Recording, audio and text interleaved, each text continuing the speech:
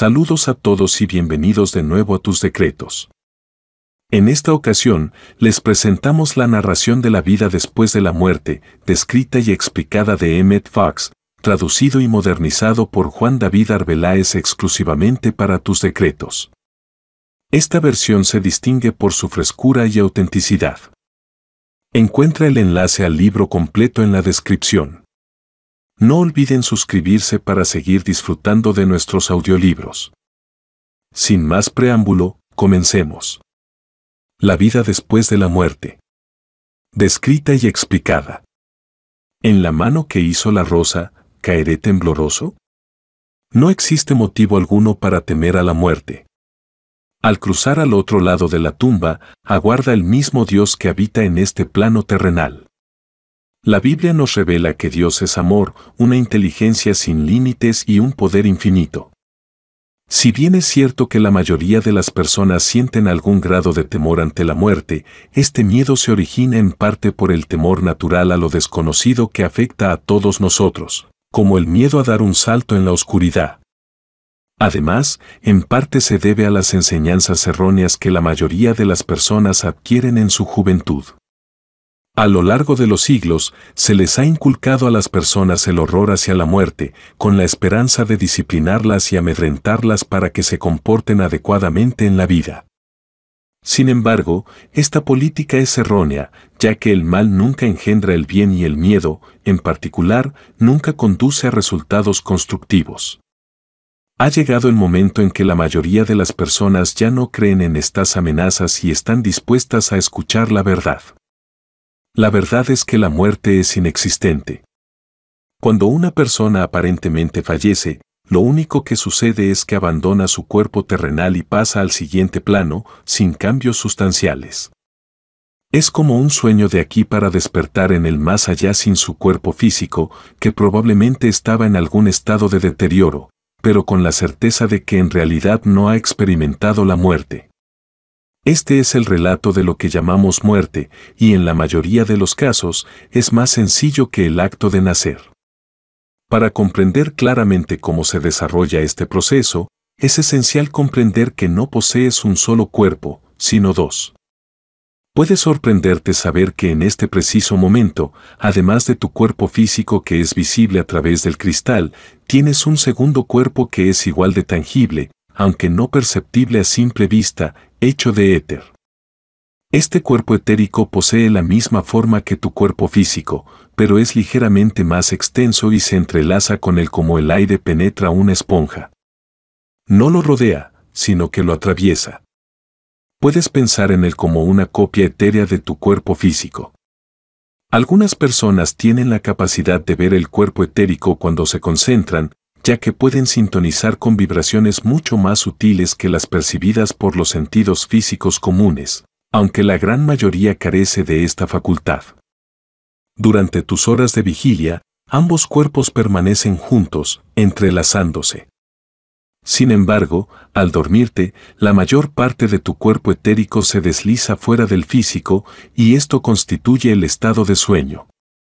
Lo mismo ocurre cuando experimentas inconsciencia, ya sea debido a la administración de anestésicos, un golpe en la cabeza, el trance o una forma de coma.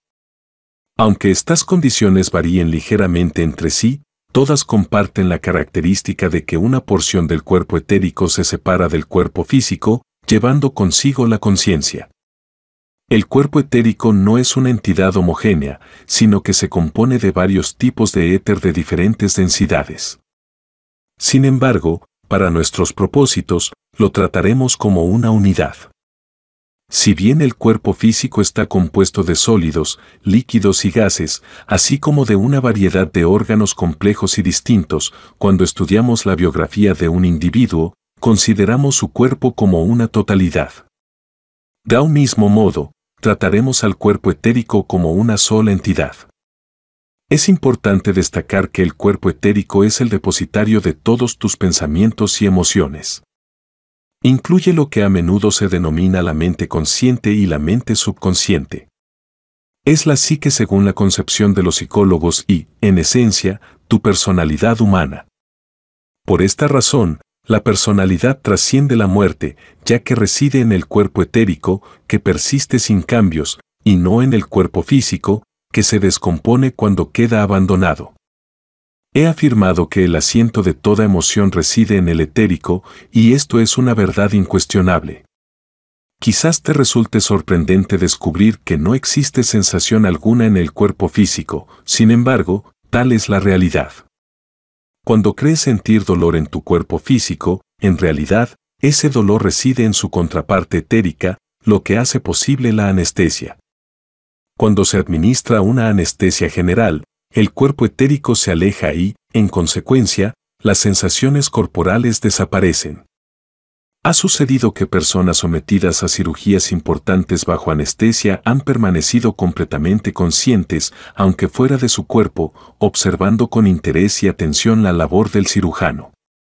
Cuando se utiliza una anestesia local, como la novocaína, se expulsa la parte etérica local, eliminando toda sensación en esa área.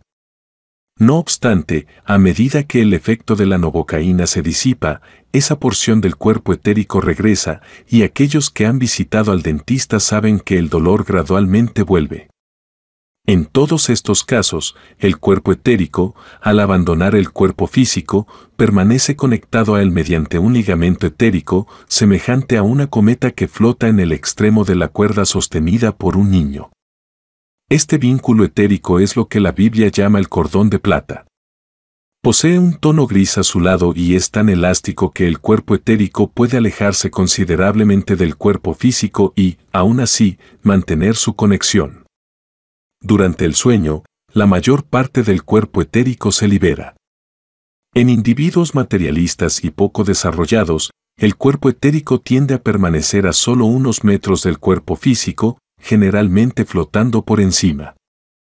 En cambio, en aquellos con un grado de desarrollo mental y espiritual, el cuerpo etérico pasa directamente al siguiente plano, a veces incluso más allá.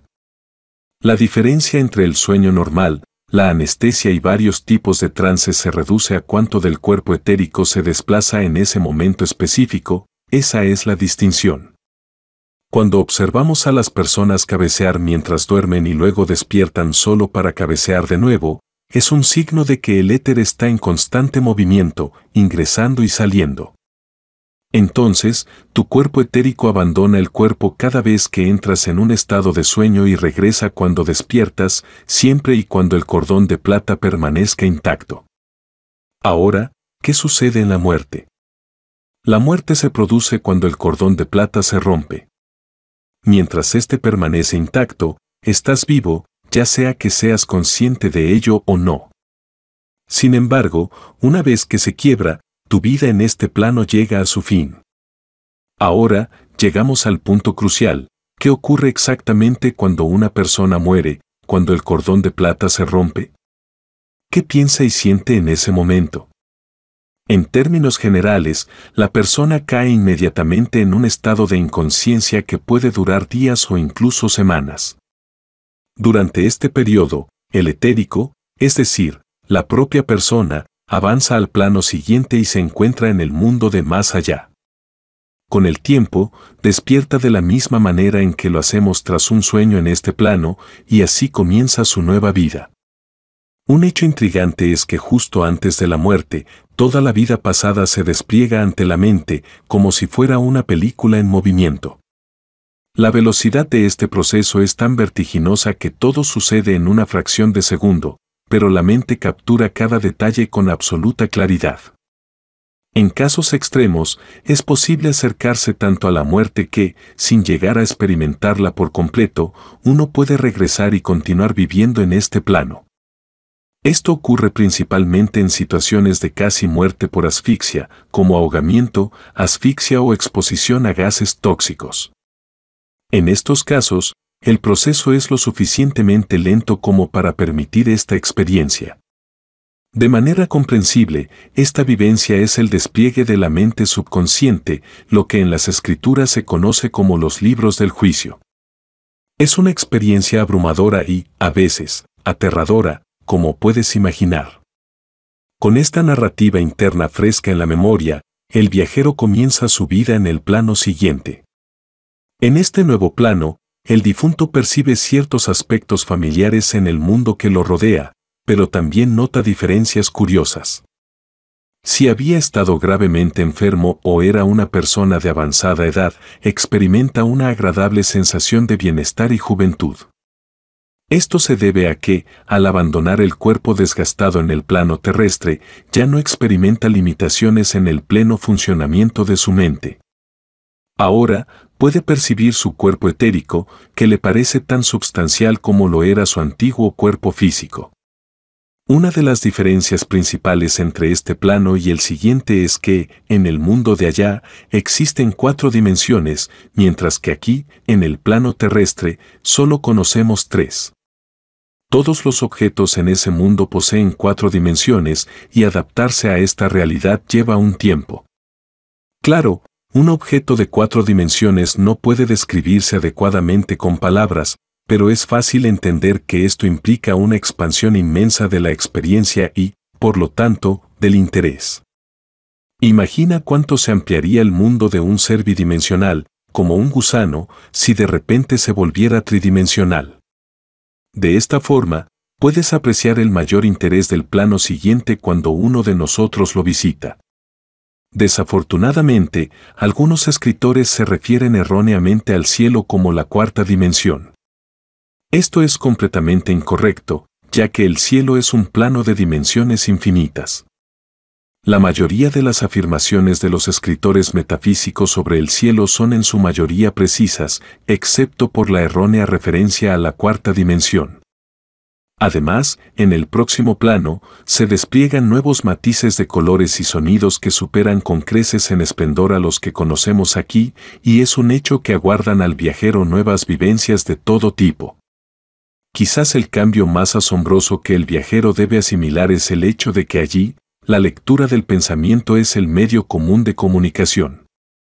En el otro mundo, los pensamientos se perciben de manera directa y por ende no existe engaño. Cada individuo se muestra tal cual es, sin espacio para la hipocresía ni la simulación. Toda la labor y el desgaste nervioso de mantener las apariencias que agota la vida de muchos ingenuos aquí, allá resulta ajeno. Cada uno se presenta como es, sin más. Con el tiempo, uno se adapta a esta realidad y nadie desearía que fuera de otra forma. En el otro plano, no existen los ancianos, por la siguiente razón. Aquello que aquí percibimos como anciano es, en realidad, un individuo de mente madura cuyo cuerpo ha comenzado a declinar, de tal manera que todas sus facultades se atenúan. Su vista se nubla, su oído se torna casi imperceptible, se desplaza con dificultad, su memoria se deteriora y, en muchos casos, resulta arduo hacerle comprender lo que deseamos expresar. Estas condiciones se deben simplemente a la decadencia del cuerpo físico que limita el funcionamiento eficiente de su ser etéreo. Ahora que el cuerpo físico es descartado, recupera naturalmente el pleno uso de sus facultades. Así, en el otro mundo, será un individuo en la plenitud de la vida. Por otro lado, los niños que trascienden al otro lado, sin haber alcanzado aún la madurez mental, continúan su crecimiento en aquel plano hasta alcanzar también la plenitud de la vida. Existen múltiples localidades en el otro plano que difieren considerablemente unas de otras, de igual manera que en este mundo hallamos naciones tan diversas como Suecia e Italia, por ejemplo. Incluso dentro de una misma ciudad encontramos condiciones tan disímiles como las humildes callejuelas de los barrios más modestos y las opulentas áreas habitadas por personas adineradas y cultas. De hecho, allí la diversidad de condiciones de vida es mucho mayor que en cualquier otro lugar de la Tierra, de modo que el viaje podría asemejarse a la experiencia de un individuo que ha pasado la mayor parte de su vida en una pequeña isla y, de repente, la abandona para explorar el mundo entero. ¿Qué determina el tipo de lugar al que uno irá después de la muerte y el tipo de personas con las que se encontrará? Por supuesto, no se trata de una cuestión de azar o suerte, al igual que no lo es la naturaleza de lo que nos rodea en este plano. Uno llega al tipo de lugar y se relaciona con el tipo de personas para los cuales se ha preparado mediante su pensamiento habitual y su estilo de vida mientras estuvo en esta tierra. nadie lo envía a ningún lugar. Naturalmente, uno se inclina hacia el lugar al que pertenece. Ha forjado un carácter específico, es decir, una mentalidad particular a lo largo de sus años de pensar, hablar y actuar en este plano. En ese momento, uno se encuentra en las condiciones que concuerdan con su personalidad. Es importante recordar que la muerte no ocasiona un cambio positivo en uno, uno sigue siendo la misma persona que era antes de que ocurriera. Se conserva toda la memoria y se recuerdan los acontecimientos generales de la vida tan claramente y a menudo aún mejor que hacia el final de la vida aquí. Aquellos que estudian la metafísica comprenden que todas nuestras condiciones en este mundo son el resultado de nuestros pensamientos y creencias, y precisamente lo mismo acontece en el otro mundo. En este plano, las personas con intereses similares tienden a atraerse mutuamente. La ley que sostiene que las aves del mismo plumaje vuelan juntas es válida en todo el universo. No obstante, existe una diferencia sumamente significativa, en el otro lado, nuestros pensamientos se manifiestan de inmediato.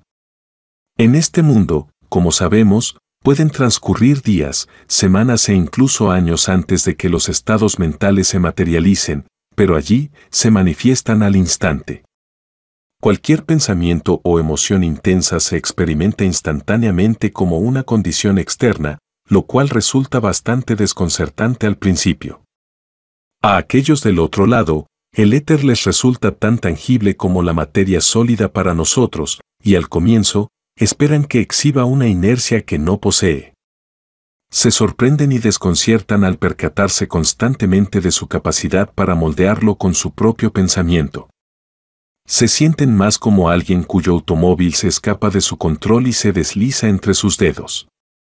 Cada pensamiento da lugar a una acción inmediata. Esta experiencia les causa sorpresa o incluso temor, lo que intensifica el fenómeno o quizás aparenta un cataclismo y la confusión más confundida se multiplica hasta que el recién llegado se recupera y aprende a dominar su propio pensamiento. Uno podría suponer que en estas circunstancias solo deben tener precaución con sus pensamientos y todo irá bien, y esto es absolutamente cierto, pero en la práctica, cambiar los patrones de pensamiento de esta manera de forma instantánea es un desafío. Si en la Tierra nos hemos habituado a pensar de manera negativa, enfocándonos en el miedo, la crítica, la mala voluntad o la enfermedad, nos llevará tiempo superar estos hábitos cuando lleguemos al otro lado. La mayoría de nosotros sabe muy bien, especialmente aquellos que han experimentado la dieta mental de siete días, que cambiar la corriente de nuestros pensamientos no es tarea fácil, sin embargo, es necesario hacerlo. En este punto, es crucial dejar en claro que este plano próximo no equivale al cielo ni a la presencia consciente de Dios. Aquellos que enfrentan grandes desafíos en este mundo y poseen una conciencia iluminada se sienten mucho mejor, a veces llegan a pensar que están en el cielo, pero no es así. Es un plano etérico limitado, aunque menos limitado que este, pero igualmente susceptible a la discordia y la decadencia. De hecho, los objetos en este plano se descomponen mucho más rápidamente que en este plano terrenal. En lugar de que los objetos rotos o desgastados persistan durante mucho tiempo, como ocurre en nuestro mundo, las formas que ya no interesan a la gente se disuelven de inmediato en el éter, lo que lleva a los recién llegados a creer que no existe descomposición. Sin embargo, la descomposición está presente, simplemente es más rápida. En nuestra realidad, por ejemplo, fabricamos una silla o un traje de ropa y desde ese momento comienzan a desgastarse. Sin embargo, este proceso es muy lento, al punto de que, incluso después de que estén tan deteriorados que ya no se puedan utilizar, sus fragmentos persisten durante años antes de convertirse en polvo, a menos que se eliminen de otra manera. En el plano siguiente, una forma etérica desechada se desvanece rápidamente. En el plano siguiente, no se encuentra a Dios más de lo que se encuentra en este plano. Dios está en todas partes. Por supuesto, Él está completamente presente en el plano próximo, de la misma manera que lo está en este plano, sin embargo, en ambos lugares, Él solo puede ser contactado a través de la propia conciencia mediante la oración o el tratamiento espiritual.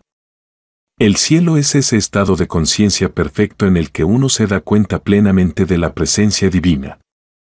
En esta conciencia, no existe la limitación, la maldad ni la decadencia de ningún tipo.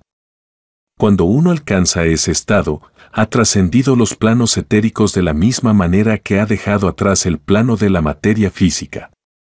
Si uno puede alcanzar ese nivel de conciencia mientras está en este mundo, y unos pocos lo han logrado, no muere ni pasa a los planos etéricos en absoluto, va directamente al cielo desde la tierra. Moisés lo hizo, Enoch, Elías y algunos otros. Esto se llama traslación o desmaterialización.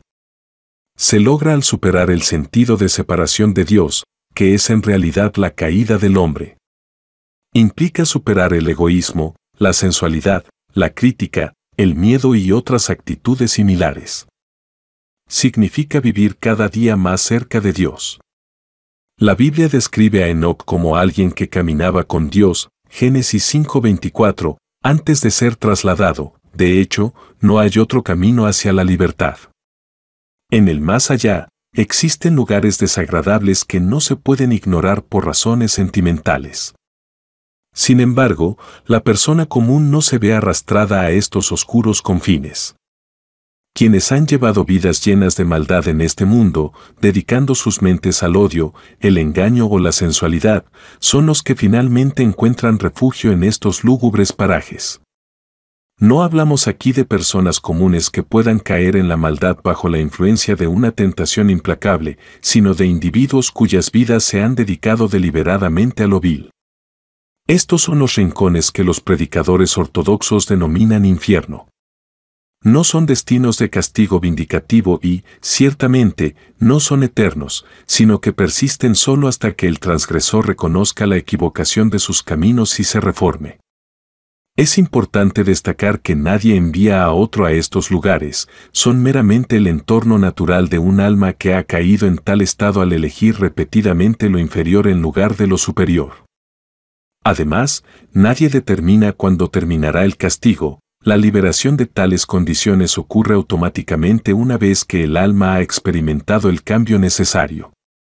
Algunos pueden preguntarse si es apropiado hablar de lugares en el plano venidero, dado que estos sitios son meras manifestaciones de los pensamientos del individuo.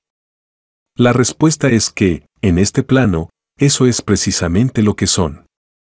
Aquello a lo que llamamos país, ciudad, casa o habitación en este mundo no es más que la proyección del pensamiento, nada más, y las principales diferencias radican en la ausencia de inercia, lo que hace que los eventos ocurran casi de inmediato y la existencia de una dimensión adicional. Por lo tanto, una vez que las almas despiertan en el más allá y se adaptan a sus condiciones, experimentan un notable bienestar físico y una vida extraordinariamente interesante y educativa. Las condiciones de vida difieren completamente de las nuestras.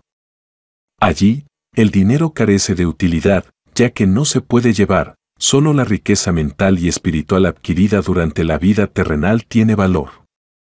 No existe el dinero tal como lo entendemos, ya que el pensamiento se manifiesta de manera instantánea, eliminando la necesidad de adquirir posesiones materiales.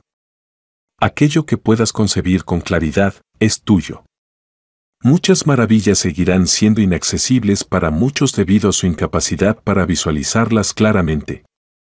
¿Y acaso no es esto cierto también en nuestro propio mundo? En esta realidad, todo lo que puedes concebir con claridad llega a tus manos si lo deseas sinceramente, y lo que comprendes plenamente se convierte en una parte irreemplazable de ti, pues nunca lo perderás. La principal diferencia entre los dos mundos, nuevamente, es la rapidez con la que se manifiestan los resultados en este, debido a la inercia de la materia física con la que no tienen que lidiar allí. En el plano venidero, no hay nacimiento, por lo tanto, no existe el matrimonio ni la vida familiar como los entendemos en esta vida. Cuando reflexionamos sobre la inmensa importancia de la familia en este plano, nos damos cuenta de que su ausencia en el más allá conlleva una reconfiguración total de la vida. ¿Es posible que vuelvas a encontrarte con tus seres queridos después de tu partida? Es una pregunta natural que se hace la gente cuando se enfrenta a la posibilidad de volver a ver a aquellos a quienes han perdido de vista.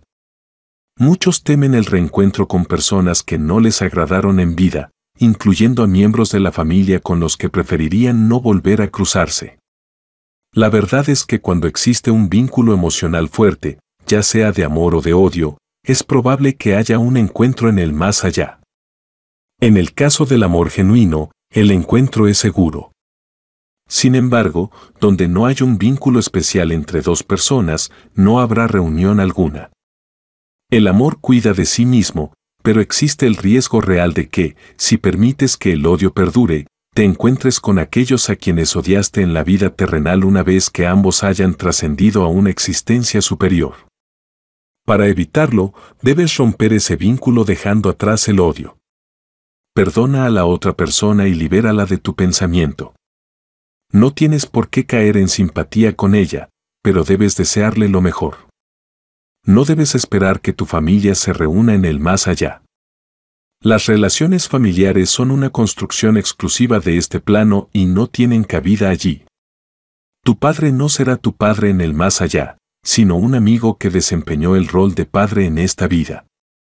Tu hija no será tu hija allí, sino una amiga que representó el papel de hija durante algunos años en la tierra.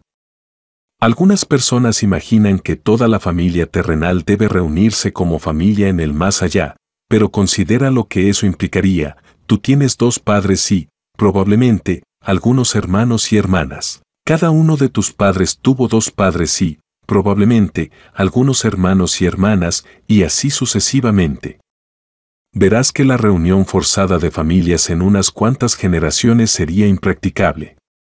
La verdad es que las relaciones de padres e hijos, hermanos y hermanas, tíos y sobrinos, esposos y esposas, son acuerdos temporales exclusivos de esta vida. Si dos hermanos o un padre y un hijo comparten un vínculo profundo de afinidad en esta vida, es probable que se encuentren nuevamente y establezcan una relación estrecha en el plano venidero pero esto se debe a su afinidad y no a su pertenencia a una misma familia en la tierra.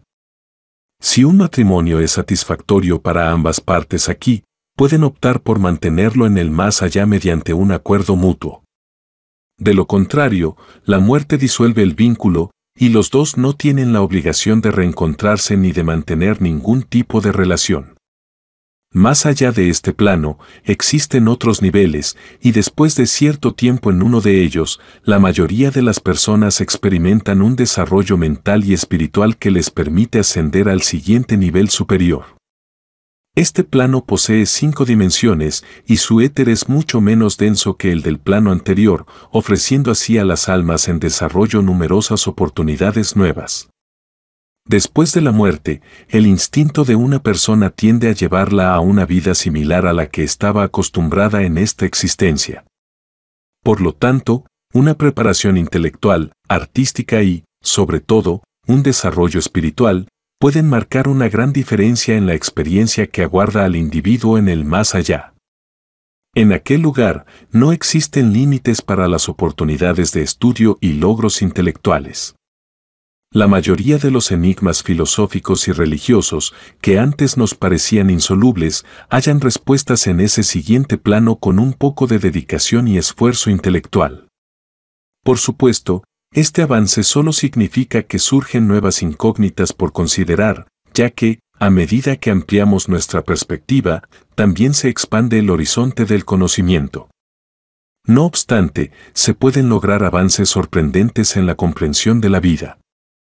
El artista y el músico, finalmente, comienzan a dar forma a su obra de acuerdo a su visión. La falta de habilidades comerciales que suele caracterizar a los verdaderos artistas y que a menudo es castigada en este mundo, no representa un obstáculo allí. Las condiciones etéreas presentan poca o ninguna dificultad en comparación con la materia física para el desarrollo de los talentos literarios, artísticos y musicales.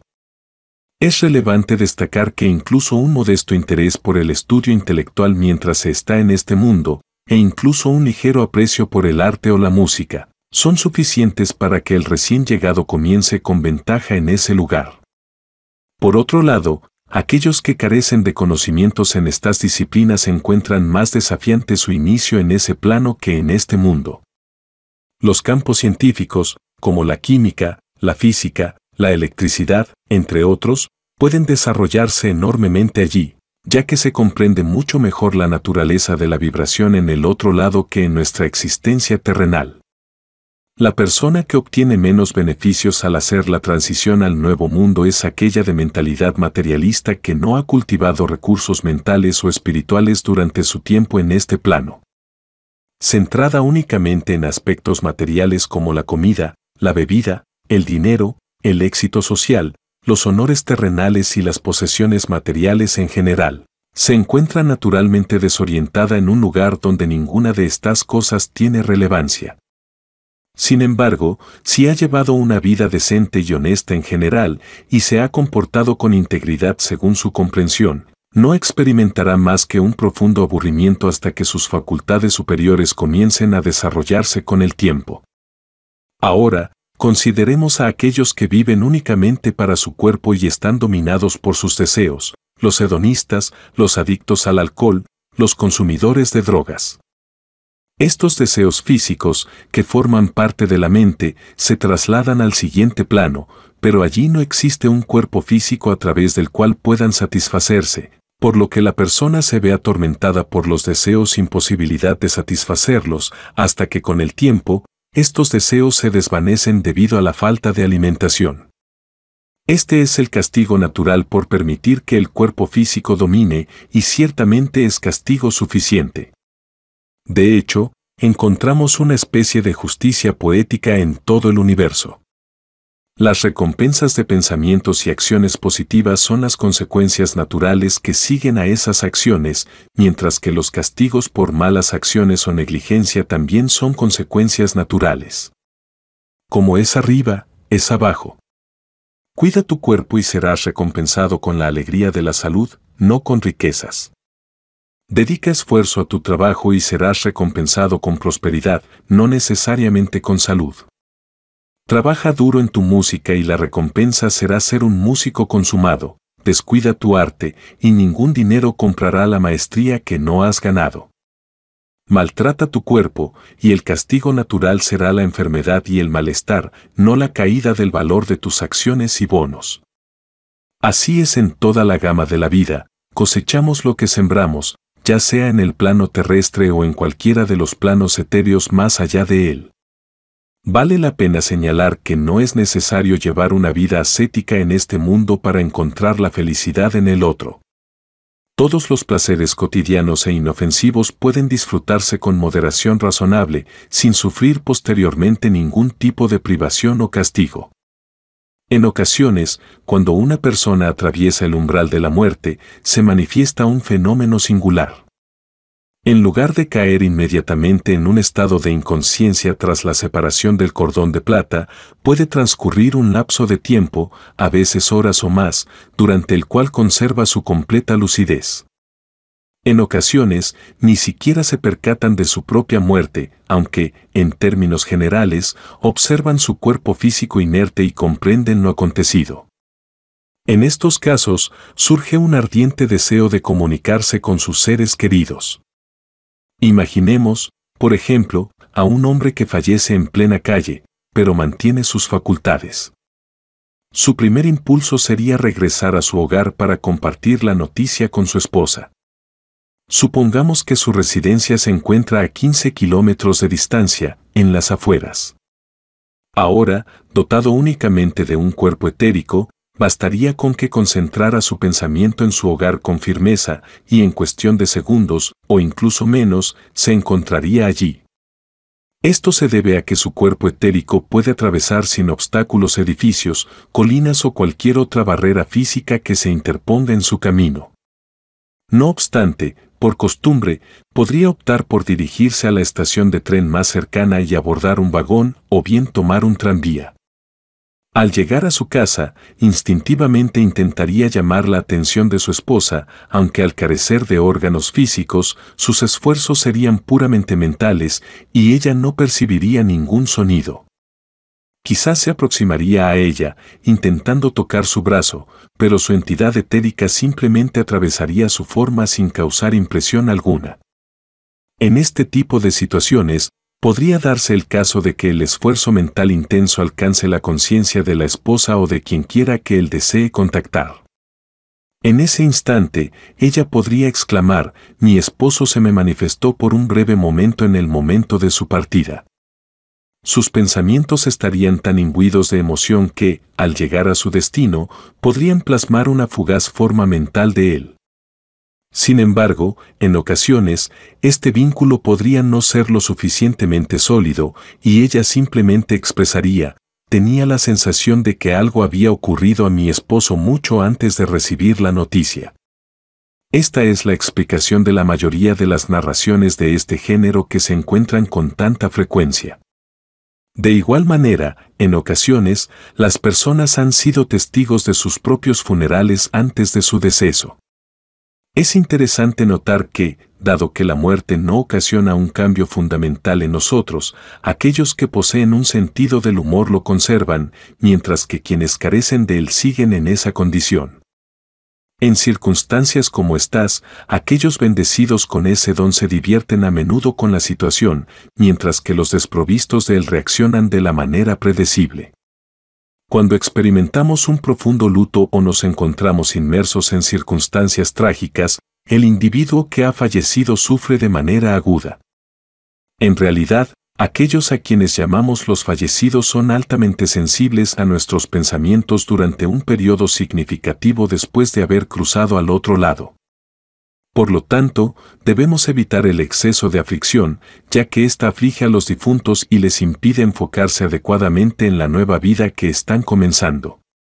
Aunque pueda parecer una tarea difícil pedir a las personas que no se entristezcan cuando alguien a quien amaban profundamente desaparece de su vista, la verdad es que el duelo excesivo no beneficia a ninguna de las partes involucradas. Es importante recordar que si existe un vínculo de amor, seguramente habrá un reencuentro en el futuro, y nada que sea bueno, bello o verdadero puede perderse para siempre. En este plano, a menudo vemos a nuestros amigos o seres queridos trasladarse a tierras lejanas, sabiendo que no los veremos durante varios años, y la muerte es, en esencia, algo similar.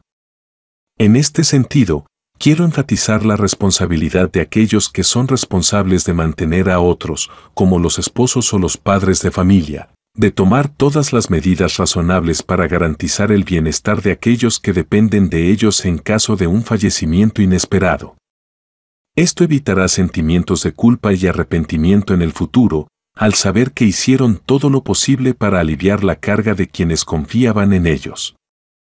En este punto, quizás sea necesario explicar que cuando una persona fallece, su cuerpo a menudo experimenta movimientos y contorsiones violentas y a veces emite gemidos angustiosos. Sin embargo, no debe causar inquietud, ya que estos son actos puramente reflejos y el individuo fallecido no tiene conciencia de ellos. Están experimentando una transición suave y cómoda hacia otro estado. En un pequeño número de casos, después de la muerte, algunas personas quedan atadas a la tierra, lo que significa que permanecen en este plano durante un tiempo indefinido, incapaces de avanzar. Esto ocurre porque sus emociones están tan arraigadas en algo de este mundo que no pueden trascender hacia el siguiente. Es similar al caso de alguien que no puede conciliar el sueño por la noche porque su mente está obsesionada con un interés dominante. Un individuo puede estar tan emocionalmente ligado a algo en este mundo que no puede apartar su atención de ello incluso después de perder su cuerpo físico. Este interés absorbente puede ser una posesión material, una persona, una actividad predominante o incluso un crimen cometido en este mundo. En el último caso, sus pensamientos lo mantienen cerca de la escena del crimen. Con el tiempo, este efecto se disipa y finalmente avanzan hacia el siguiente estado, pero en casos extremos, esto puede llevar mucho tiempo. La lección que debemos aprender es que no debemos permitir que ninguna cosa en el mundo monopolice nuestra atención al punto de que la pérdida de esa cosa haga que el resto de nuestra vida carezca de significado. La única devoción que merece ser ilimitada es la búsqueda de Dios, Sin embargo, esto no debe desequilibrarnos.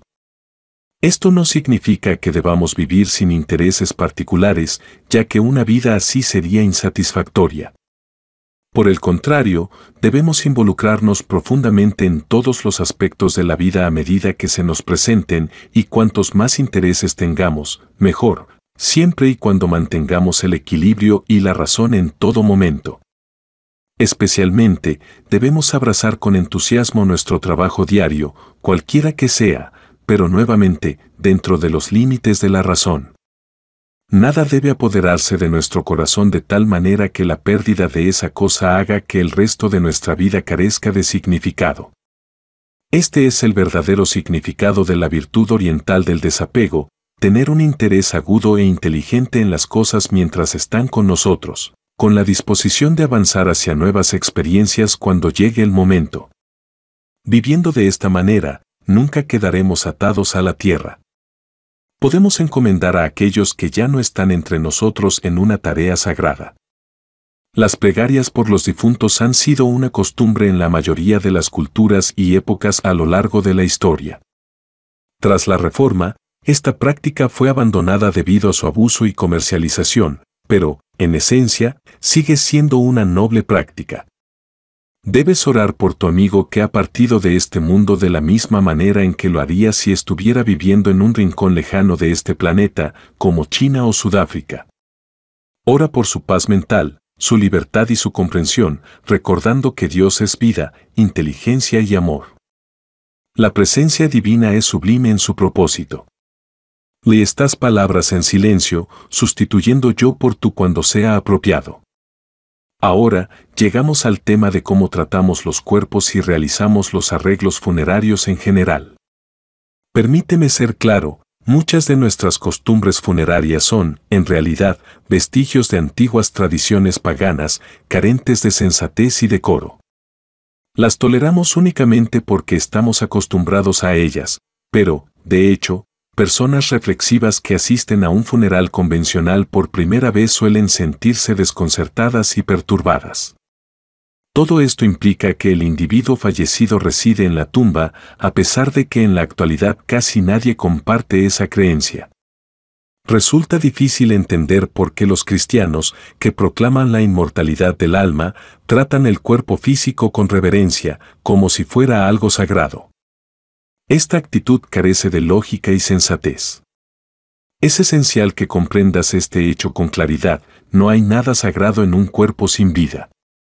Es simplemente una amalgama de materia física que ya no sirve a su dueño original y debe ser eliminada de manera rápida y ordenada. El individuo fallecido ha empleado una serie de cuerpos físicos a lo largo de su vida, como bien sabes, vamos adquiriendo cuerpos nuevos gradualmente a medida que avanzamos en la vida. Y el que queda ahora solo es el último de una serie que se desecha de forma ceremoniosa. Recuerda que la verdadera belleza de un cuerpo proviene del alma que brilla a través de él, no reside en el cuerpo en sí. Esa alma, con su belleza y alegría, ya ha partido, y el cuerpo que queda es simplemente un atuendo viejo que ya no tiene uso. Debe ser desechado, por el bien de los vivos, con respeto, pero no con veneración, y el método adecuado para ello es la cremación. Esto es algo que debemos comprender claramente. La eliminación del cuerpo es, en última instancia, un acto de consideración hacia los vivos y de ningún modo un homenaje al difunto, que ya no tiene interés en ello. El fuego es limpio, purificador y respetuoso. El cuerpo debe ser incinerado después de un periodo de aproximadamente tres días, a menos que la descomposición haya comenzado rápidamente, en cuyo caso la incineración puede llevarse a cabo de inmediato. Una vez que el cuerpo ha sido incinerado, no es necesario conservar las cenizas. Guardar estas reliquias solo perpetúa una satisfacción mórbida. Deben esparcirse en algún lugar con vegetación, arrojarse al mar, a un río o a un lago, por supuesto, acompañado de una plegaria. Por esta misma razón, los monumentos en los cementerios son inapropiados y, siempre que sea posible, deben evitarse, incluso en casos donde consideraciones familiares hayan hecho necesario el entierro. Si reflexionamos sobre esto, veremos que erigir un monumento sobre un cuerpo abandonado carece de lógica, al igual que enterrar un traje viejo y poner un monumento sobre él. Es importante destacar que no es necesario visitar la tumba de tu ser querido. Sabes que él no reside en el cementerio, por lo tanto, es mejor mantener distancia. Ora por él en el santuario de tu hogar. No hay lugar más sagrado ni apropiado para la plegaria que tu propia casa. En ocasiones especiales, como su cumpleaños o aniversarios significativos, puedes colocar un ramo de flores en su memoria, pero esto debe hacerse en casa, no en el cementerio. Si posees un retrato suyo, puedes colocar las flores frente a él. Sin embargo, esto solo debe realizarse ocasionalmente y no como una práctica cotidiana. Evita vestir de luto. No te vistas de negro por tu ser querido, quien no ha fallecido, sino que está más vivo que nunca. En este punto, es importante mencionar que, en general, no es aconsejable conservar objetos personales del difunto, a menos que lo haga sin sentimentalismo ni morbosidad. Debes ser cauteloso en este aspecto. No hay problema en mantener algunos recuerdos si estás seguro de que no lo haces desde el duelo, recordando que la persona no ha muerto. Por otro lado, la idea de mantener la habitación o los objetos del difunto tal como los dejó, como hacen algunas personas, es completamente errónea y pagana. El difunto no lo desearía y, si pudiera expresarlo, probablemente te lo comunicaría con buen humor. Todas las condiciones que pertenecen al pasado deben romperse en la medida de lo posible para dar paso al presente lleno de vida. En este espacio, deseo elucidar que, aunque las previas directrices representan la senda auténtica a emprender en determinados contextos, compromisos de índole familiar pueden obstaculizar su realización. En especial, cuando miembros familiares, en especial los de mayor edad, como los progenitores, se aferran a perspectivas anticuadas. Suele ser prudente ceder y acatar sus expectativas en lugar de herir sus sensibilidades más profundas.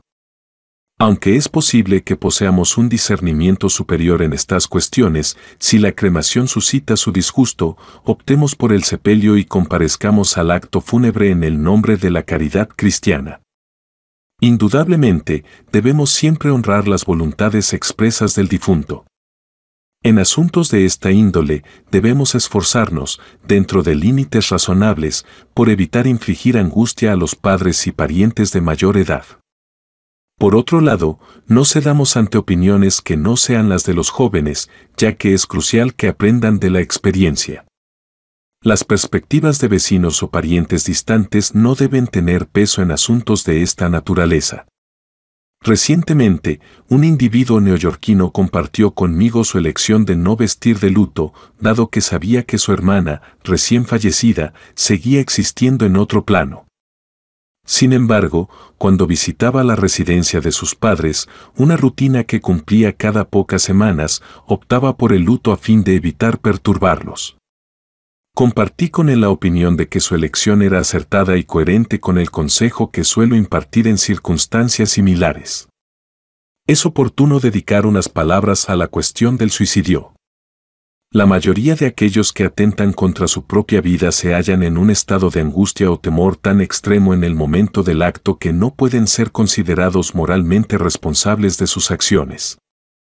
En tales casos, no se trata verdaderamente de un suicidio, sino más bien de una trágica pérdida. Estas personas cruzan al otro lado como cualquier otra alma. Sin embargo, la situación es muy distinta en los casos genuinos de suicidio. El acto de autodestrucción consciente y deliberado es un delito que la naturaleza castiga severamente implica evadir la confrontación de los desafíos de la vida y, evidentemente, tal evasión no puede conducir al éxito. Quienes optan por esta salida no hallan compañía en el más allá. Se sienten solos y desdichados, a menudo sumidos en un estado mental confuso, una especie de ensoñación vaga que, en ocasiones, los hace sentirse perdidos en la bruma. Por supuesto, la oración puede brindarles una ayuda considerable, como a cualquier otra alma. Finalmente, deberán afrontar nuevamente los mismos problemas que intentaron eludir, pero habrán perdido tiempo y padecido sufrimiento en vano. Ahora bien, me adentro en la cuestión de si es posible o no comunicarse con aquellos que han trascendido al más allá. Sobre este tópico se han publicado innumerables obras y ha habido una acalorada y áspera controversia global durante mucho tiempo. De hecho, muchos individuos parecen incapaces de abordar este tema sin abandonar la razón o la cortesía. Los polemistas de ambos bandos se lanzan mutuamente los epítetos más vitriólicos, y he sido testigo de amistades de larga data que se han fracturado a raíz de la cuestión de si es posible o no comunicarse con los denominados difuntos. Los extremistas de una facción afirman con rotundidad que es absolutamente imposible lograr tal comunicación. Los entusiastas de la otra corriente aseguran que mantienen un vínculo claro y cercano con sus seres queridos fallecidos, a veces con una frecuencia de una o dos veces por semana, o incluso más. ¿Cuál es la verdad? La verdad radica en que la comunicación, si bien es eventual, es mucho menos frecuente de lo que la mayoría de los creyentes suponen, y siempre se alcanza con notables dificultades y ambigüedad no se asemeja en absoluto a una llamada telefónica de Nueva York a Chicago, sino más bien a los primeros días de los experimentos de Marconi con la radio, cuando de vez en cuando llegaba un mensaje sumamente entrecortado, pero con mucha mayor frecuencia, lo único que se captaba eran interferencias atmosféricas y señales inconexas de los instrumentos. Evita inmiscuirte en asuntos relacionados con lo psíquico. Si deseas explorar profundamente y de manera científica, está bien, pero ten en cuenta que este será un trabajo que requerirá años y condiciones científicas adecuadas. La principal objeción a seguir la carrera de los mediums, practicada por muchas personas, es que, en realidad, es una forma de escapar de las responsabilidades de esta vida. Los mediums profesionales afirman que rara vez atienden a clientes felices cuyas vidas estén llenas de prosperidad y autorrealización. En cambio, son aquellos cuyas vidas en este mundo están marcadas por la frustración y la infelicidad, independientemente de un duelo particular, los que constantemente buscan comunicarse con el plano siguiente. Esto se convierte en lo que la psicología llama un mecanismo de evasión y puede ser tan perjudicial como caer en la bebida o el consumo de sustancias. Tu enfoque debe ser vivir plenamente en este mundo mientras estés aquí. Enfrenta tus problemas y trabaja en resolverlos aquí mismo. Entonces, cuando llegue el momento de cruzar al otro mundo, estarás preparado para esa transición. Existe una forma de comunicación espiritual genuina de la cual solo pueden derivarse resultados positivos. Aquí está cómo puedes lograrlo, siéntate en silencio y reconoce que el único Dios es verdaderamente omnipresente. Luego, reflexiona en que tu verdadero yo, esa chispa divina dentro de ti, está en la presencia de Dios en este momento, al igual que el verdadero yo de tus seres queridos. Dedica unos minutos cada día a esta práctica y eventualmente experimentarás una sensación de comunicación. Sin embargo, por lo general, no recibirás mensajes detallados, sino una sensación clara de que ellos saben que estás pensando en ellos y viceversa. La gente a menudo se pregunta cómo prepararse para el otro mundo. La mejor manera de hacerlo es vivir una vida recta y honesta, actuando de acuerdo con lo más elevado que conoces en cada momento. Sé útil para los demás en la medida de lo posible y busca oportunidades de servicio, ya sea físico, mental o espiritual. Aprende sobre la verdadera naturaleza de Dios y profundiza en el conocimiento de lo que significa ser humano y el propósito de la vida. Este mundo es una escuela, y lo más importante es aprender las lecciones que se nos presentan. No importa si eres rico o pobre, educado o sencillo, lo que importa es cómo interpretas tu papel en la vida. Las dos lecciones supremas son la omnipresencia de Dios y el poder del pensamiento. Con este entendimiento, puedes enfrentar la vida y la muerte con tranquilidad. Deberías mantener una actitud alegre y equilibrada sin dejarte llevar demasiado por la buena fortuna o desanimarte por la adversidad temporal. No te apegues excesivamente a las posesiones materiales o la aprobación de los demás. Recuerda que eres dueño de tu destino y que siempre hay un futuro mejor por venir. Mantente abierto a lo desconocido y avanza con alegría, sabiendo que eres parte de una gran aventura. Es importante destacar que ninguna descripción escrita puede capturar completamente esta experiencia. Las palabras solo pueden insinuar y sugerir la verdad. Como cualquier itinerario de viaje, por más preciso que sea, puede parecer árido y poco atractivo al leerlo, ya que la belleza y la alegría de la nueva aventura escapan a las palabras escritas. Este ensayo describe las experiencias del alma entre encarnaciones, un tema que va más allá de lo que las palabras pueden expresar plenamente.